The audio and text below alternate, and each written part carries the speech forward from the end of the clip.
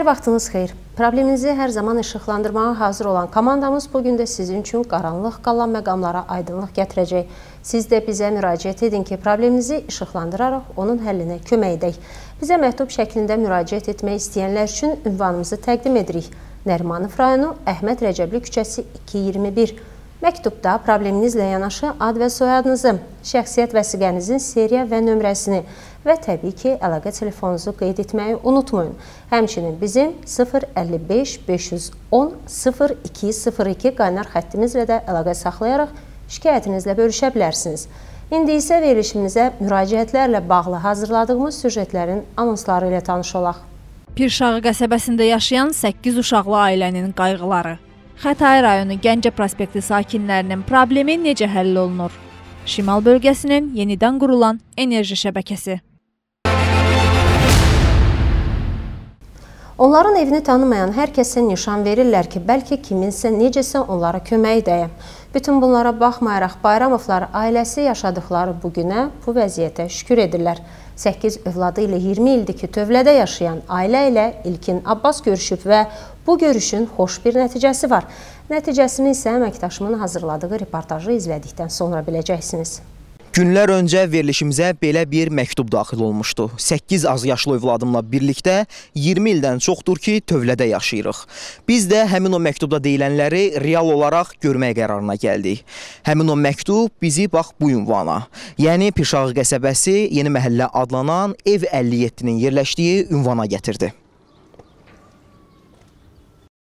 Məktubda deyilən ünvana gəldikdə bizi ilk qarşılayan gördüyünüz bu tikili oldu. O tikili ki, orada gələcəyə böyük ümidləri olan 8 uşaq böyüyür. Ailə qurulan zamandan, yəni 20 ildir ki, keçmiş tövləni evə çeviriblər. Təbii ki, bacardıqları qədər. Evə daxil olandan qarşılaşdıqlarım şəraitsiz mətbəx, tavansız otaq, çürük döşəmələr, bir sözlə yaşayışı əziyyətə çevirən çatışmazlıqlar oldu. Evin bir küncünə qısılan körpələrin gözlərində həm utanc, çəkingənlik, həm də bir işıltı, birazca da olsa olsa ümid qığılcımı gördüm. Qəsəbədə hamı bu ailəni yaxşı tanıyır. Onların evini tanımayan hər kəsə də nişan verirlər ki, bəlkə kiminsə necəsə onlara kömək edə. Bütün bunlara baxmayaraq Bayramovlar ailəsi yaşadıkları bu günə, bu vəziyyətə şükür edirlər. Biz də şükür edirik. Hər halda bu ailənin indi yaşadığı yeri görürsüzsə, tək biz yox, siz də şükür edəcəksiniz. Hələ də 8 uşağın bu keçmiş dövlədə sağ-salamat qalmasına görə. Ailənin heç bir üzvü hazırda çalışmır. Ailə başçısı Elizbar Bayramovun səhhəti buna imkan vermir. Diləfruz xanım isə 8 uşağa baxdığı üçün işləməkdən məhrum olub. Bir sözlə, Bayramovlar dövlət tərəfindən verilən ünvanlı sosial yardımın hesabına 8 uşağı böyüdürlər. Uşaqların ən böyüyünün 17 yaşı var. Son 5-inin isə heç bir yaşı da tamam olmayıb. İşin ən maraqlı tərəfi də odur ki, valideynlər növbəti övladlarının olacağını da istisna etmirlər. Uşaqlar bu balaca tövlədə yatıb durur, elə buradaca yuyunub dərslərini də bu şəraitdə edirlər. 10 nəfərdən ibarət ailənin çəkdiyi əziyyəti elə ailə başçısı Elizbar Bayramovun dilindən eşidək. Tövlə tikilib də nəzərdə tövlədir. Amma biz bu tövlədə yaşayırıq 8 uşaqla. Səs olur, küy olur, məktəbə gedənlər oxuya bilmirlər səsdən, küydən. Yağan yağış, qar hamısı başımızdadır, başımıza damır. Boçkadan, qazandan düzürük, hamımız çəkildik bir divə. Torpağın üstündə, o kravat da yoxdur yatmağı, özünüz görürsünüz də. Yəni üst beton, divar beton, alçaq. Məsuliyyət hissi bir şəxsiyyət üçün ən vacib keyfiyyətlərdəndir. Ailə başçısında isə bu mütləq olmalıdır. Elizbar Bayramovda isə yumşaq desək bu keyfiyyətlə bağlı müəyyən qədər axsama var. Bir sözlə o hər şeyi qismətə, taleyə bağlayır. Bundan asan isə yəqin ki, heç nə yoxdur. 8 uşağın gələcək həyatını düşündünüzmü onları dünyaya gətirəndə? Düşünmüşük də indi qismət oldu da qismətdir da indi yaxşı sağlam uşaqlardılar, ondan oxuyan uşaqlardılar. Siz əminsiniz bu şəraitdə böyüyən uşaqlar həqiqətən də sağlamdılar? Nə bilim vallah, bəlkə gələcəkdə nəsə problemləri çıxacaqdı indi bu vəziyyətdə yaşayan uşaqların. Müsahiblərimlə söhbətləşərkən daha bir məyus edici məqam üzə çıxdı. Sən demə, bu 8 uşaq qeyri-qanuni nigahdan dünyaya gəlib. Yəqin ki, bu uşaqların gələcəklərinin böyük sual altında olduğunu təsəvvür edirsiniz. Ailənin xanımı Diləfruz Hüseynova uşaqları dünyaya gətirərkən sevindiyini desə də, zamanla qayğılar arasında itib batması bu sevinci peşmanlıq duyğuları ilə əvəzləyib. Xanım deyir ki, çarəsizlikdən uşaqları bir neçə dəfə uşaq evinə də aparmaq istəyib, amma son anda bu fikrindən də daşınıb. Nə uşaq da olduqca adam xoşu gəldi, evladdır da, yəni çox çox uşaq xoşdadıq. Deyirəm ki, yəni istəməzdim də bu boyda olsun. Yəni öz üzümə deyirəm səhv eləmişəm. Yəni çox lazım deyil də. Yəni çox daracaq. Heç ev yox, yatmağa yer yox, çətinlik də, yəni. Yəni belə baxanda peşman olmuşam ki, nə edirdim. Dilindən şükranlıqla yanaşı narahatlıq dolu cümlələr də əksik olmayan ana deyir ki, 8 uşağa daha gözəl gələcək bəxş etmək olardı.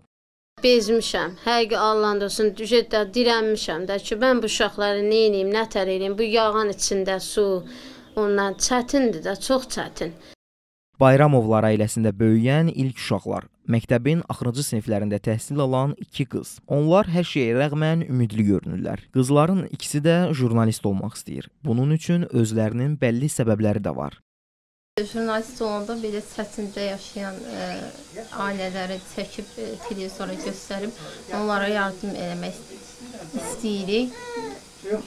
Problemlərini həll etmək istəyirik. Bizim üçün problemi olan insanları da istəyirəm ki, mən də mətbuata işıqlandıram. Bayramovlar ailəsi ümidlidir. Onlar inanır ki, 8 uşağın böyüdüyü bu ocağın da xoş dövranı gələcək. Əlbəttə bu dövran onlar böyüyüb işləməyə başlamamış gəlib çatsa, uşaqlar öz uşaqlıqlarını ürəkləri istəyən kimi yaşasa nə gözəl olardı.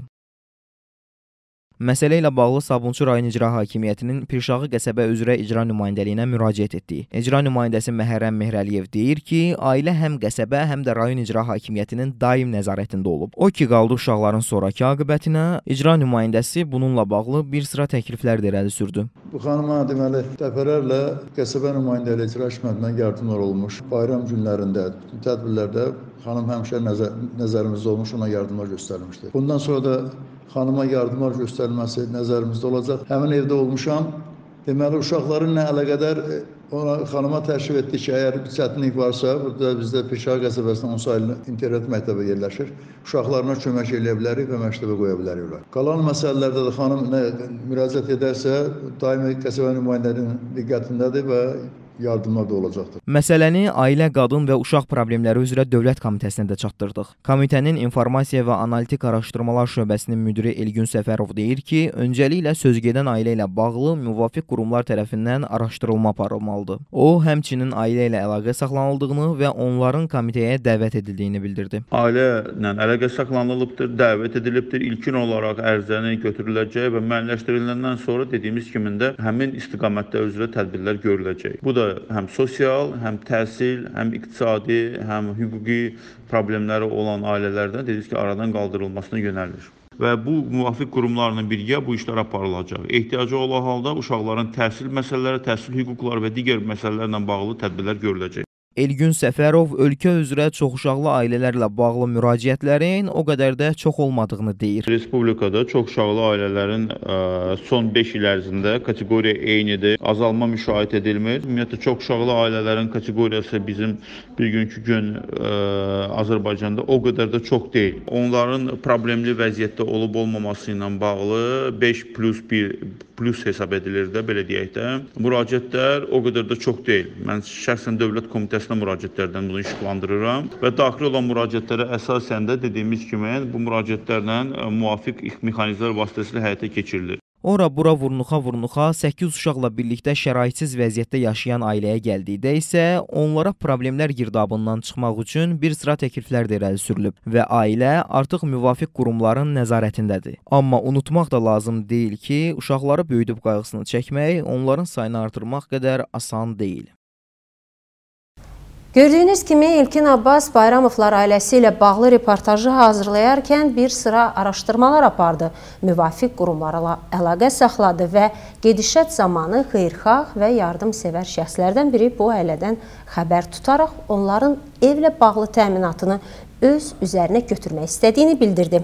Ümid edək ki, 10 nəfərdən ibarət ailənin çəkdiyi əziyyət tezliklə geridə qalacaq və onlar gözəl, rahat evə sahib olacaqlar.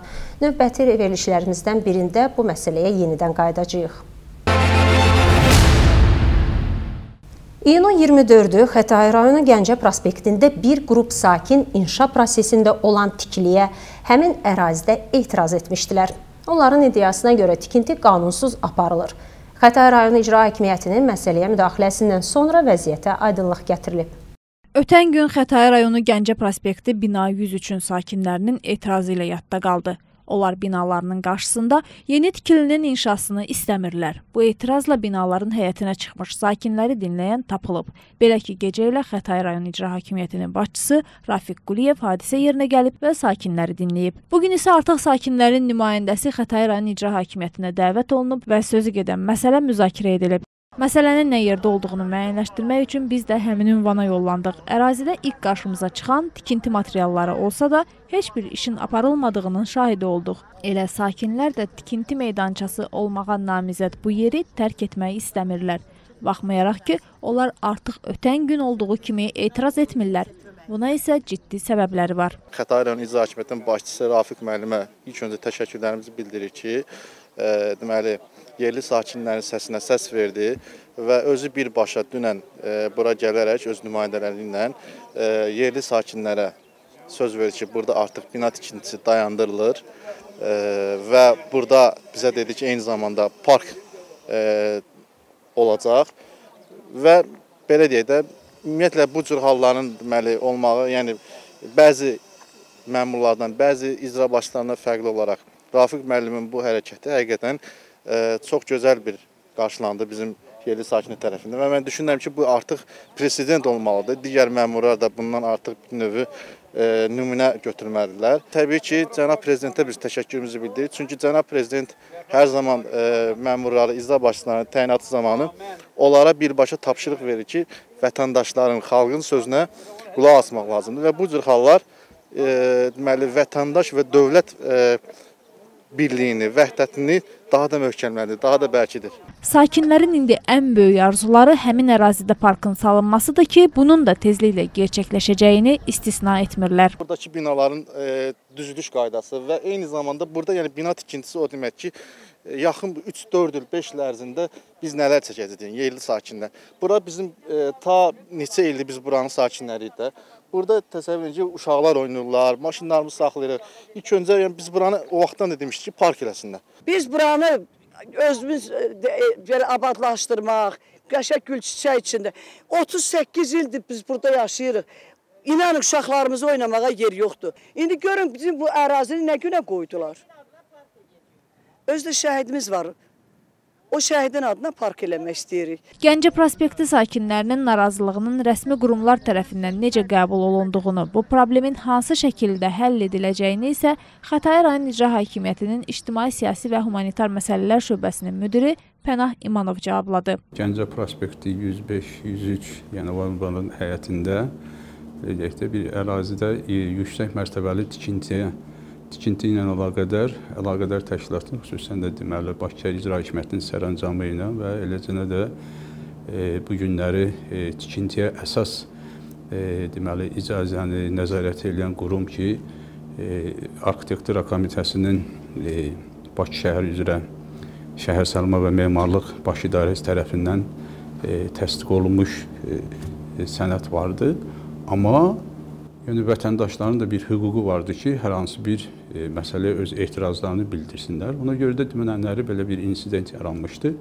Vətəndaşlar e, həmin o ərazidə tikintinin aparmasına etiraz edirlər.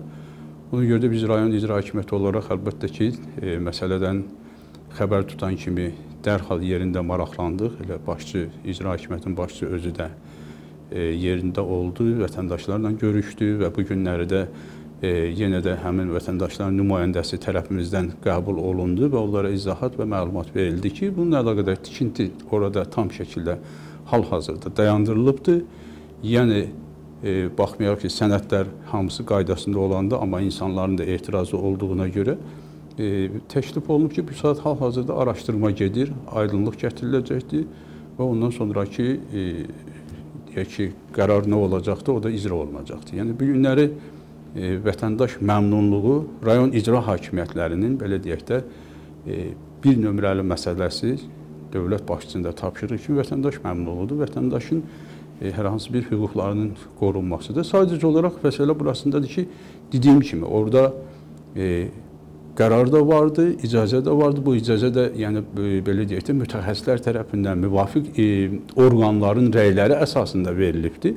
Sadəcə insanların orada etirazı olduğuna görə, yəni e, belə deyək də narazılığı olduğuna görə yerində məsələ araşdırılır. Sakinlərin park istəyinə gəlincə, Pənah İmanov bu məsələnin Xətai rayonunda hər zaman prioritet olduğunu diqqətimizə çatdırdı. Söhbət əsasında 2 həftə öncə problem verilişində şikayətini səsləndirdiyimiz eyni prospektdə yerləşən təhlükəli sürüşməkdə olan pilləkənlərlə əhatələnmiş binaların vəziyyətinə də aydınlıq gəldi. Sakinlərin bu günləri ən çox istədikləri parklardır, deyək ki, e, abad həyətlərdir. Bunu da şükürlər olsun ki, bu günləri rayon icra hakimiyyəti tərəfindən ən yüksək səviyyədə, xüsusən də Leyla xanımın Aidiyev təşkilatının, yəni onun e, layihəsi əsasında e, çox böyük vüsətlə bu işləri biz görürük. Yəni və həmin oracı e, elə onu deyim ki, o ərazidə də vətəndaşların bizə e, müraciətləri olmuş da ona baxmayaraq bir təxminən 1-2 il əvvəl biz özümüz o əraziyə e, baxış keçilmişdik. Başçının şəxsən özünün rəhbərliyinə. Niyə görə? Orada Sovet dövründən o massivlər salınıbdı. Və orada insanların keçdiyi pilləkənlər vardı.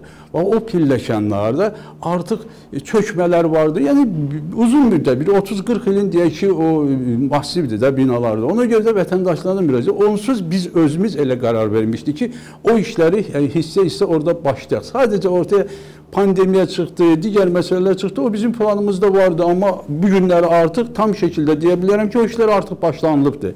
Yəni bütün Gəncə prospekti boyu, deyək ki, həmin o bina, o başdan başlayaraq düz Heydər Əliyev parkına qədər bu işlər görüləcəkdir. Səslənən fikirlər çox ümidvericidir. Yəqin ki, sakinlər də bu vədləri eşidəndən sonra bütün narahatlıqları geridə qalacaq. Biz isə yaxın zamanlarda artıq abadlaşmış, parklarla əhatələnmiş Gəncə prospektini nümayiş etdirəcəyimizə ümidliyik.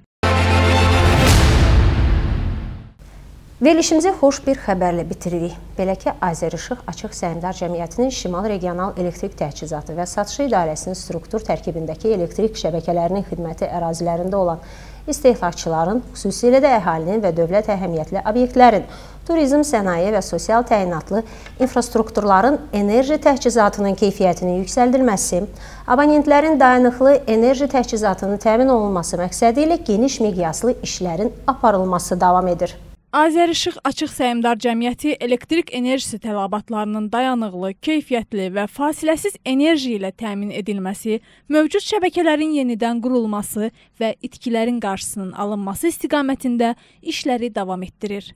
Hazırda Siyəzən rayonu Dağquşçu kəndində gücü 2,5 meqavolt amper olan yarımstansiya tikilir və yarımstansiyanı qidalandırmaq üçün 10,5 kilometr uzunluğunda 35 kilovolt hava elektrik veriliş xətlərinin çəkilişi işləri aparılır. Xaçmaz şəhəri 21-25-ci məhəllələrində və İstisu qəsəbəsində, Qusar şəhəri Mirzə Vəliyev küçəsində, Həmzə və Aladaş kəndlərində, Şabran rayonu Surra kəndində, Quba rayonunun Amsarqışlaq və Vəlvələ kəndlərində 10 və 0,4 kilovoltluq şəbəkələrində yenidən qurma işləri davam etdirilir. Qısa bir zaman kəsiyində və o yarım stansiyanı tikib elektrik dirəklərini bastırıblar.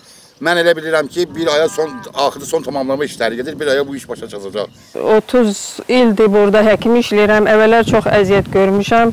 Gecə gündüz biz evə çağırışlarda olmuşduq qaranlıq vaxtlar bizi çox e, belə bizim pis günlərimiz olub. İndi çox yaxşıdır. İndi görürük ki, xeyli vaxtdır kəndimizdə bu elektrik xətləri dəyişdirilir. Çox sağ olsunlar. Biz bu çətin bir vəziyyət müharibədən çıxmış bir dövrdə Cənab Prezident bizim zonanı unutmamış, burada çox diqqət yetirmişdir. Görürəm ki, bu işçilər gecə gündüz Yəni səhər tezdən axşamacan işləyirlər. Özləri də səliqəli işləyirlər, mən görürəm. Biz də lazımi köməklik göstəririk. Nə lazım olsa biz də köməklik göstəririk. Çox sağ olsunlar. Cənab Prezident İlham Əliyevin bu sahəyə göstərdiyi xüsusi diqqət və qayğının nəticəsidir ki, elektrik enerjisi tələbatçılarının keyfiyyətli, dayanıqlı və fasiləsiz elektrik enerjisi ilə təmin edilməsi üçün elektrik şəbəkələrinin yenidən qurulması istiqamətində layihələr həyata keçirilir. Gördüyümüz bütün işlərdə əsas məqsəd ondan ibarətdir ki, abonentlərimizi keyfiyyətli elektrik enerjisinin təchizatı ilə təmin edək və eyni zamanda itkiləri minimum səviyyəyə endirək. Xatırladaq ki, Şimal Regional Elektrik Təchizatı və Satışı İdarəsi ərazisində son illər ərzində 28 ədəd 35 kilovoltluq yarımstansiya tikilib, 7 ədəd 35 kilovoltluq komplekt transformator məntəqələri quraşdırılıb və 3 ədəd 35 kilovoltluq mövcud köhnəlmiş yarımstansiya yenidən qurulub. Yeni tikilmiş və yenidən qurma işləri aparılmış bütün yarımstansiyalarda müasir avadanlıqlar quraşdırılıb. Problem verilişi bu həftəlik işini yekunlaşdırır. Sizinlə növbəti dəfə görüşənə dək sağollaşıram. Siz isə Real TV-ni izləməkdə davam edin. Problemsiz və xoş həftə sonu arzusu ilə sağ olun, salamat qalın.